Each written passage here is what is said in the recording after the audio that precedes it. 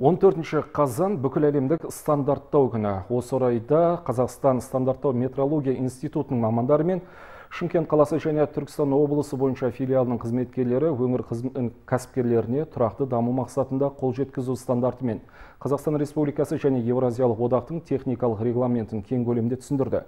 Бұл ретте бизнесмендердің талап тілектері де тыңдалды. Толығырақ тілші әңгімесінде.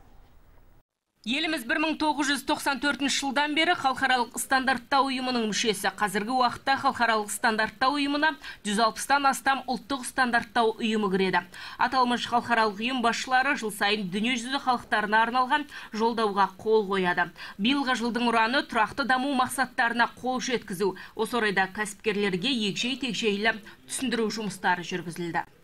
ИСОда 26 мың 700 стандарт разработать етілген.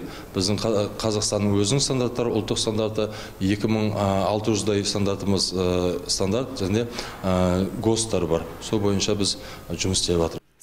Бүгінгі жиында қазақстан республикасы және еуразиялық одақтың техникалық регламенті жайында сөз болды. Бұл ретте құрылыс және ғимараттың құрылыс материалдарының қауіпсіздігі жанармай және балалар ойын кешенінің қауіпсіздігі туралы айтылды. Осы орайда оның орындалу барысындағы қиындықтар аясында ұсыныс пікірлер тыңдалды. Енді қазір мысалы қазақстан республикасының құрылыс материалдарының қауіпсіздігі туралы техникалық регламенті жаңадан қабылданды. Биыл осы шілде айында ол желтоқсан он тоғызыншы желтоқсанда күшіне енеді биыл. Әлі күшіне енген жоқ бірақ уже бірнеше ұсыныстар түсіп жатыр.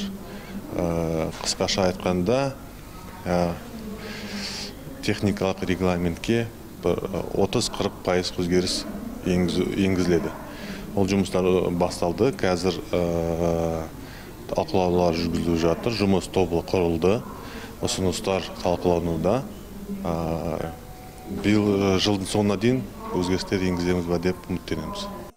Стандарттар энергияны үнемдеудің су мен ауа сапасының барлық аспектілерін қамтиды. Олар үлгілік жұмыс технологиялары мен өлшеу әдістерін белгілейді. Оларды кеңінен қолдану өнеркәсіптік өндіріс пен процестердің қоршаған ортаға зиянды әсерін азайтуға көмектеседі. Шектеулі ресурстарды қайта пайдалануға және энергия тиімділігін арттыруға ықпал етеді. Гүлнар Асқарқызы, Әли Мәлік, Алмастан Абекұлы, жаңалықтар.